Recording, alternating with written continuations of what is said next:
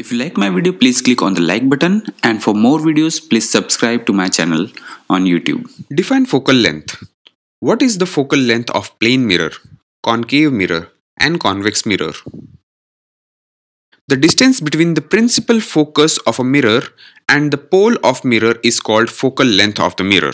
In the diagram below, O is the pole of the mirror and F is the principal focus of the mirror. So the distance between the O and F is the focal length of the mirror.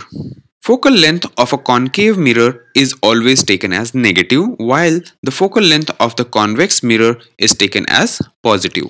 Radius of curvature of plane mirror is infinite. Hence the focal length of the plane mirror will also be infinite.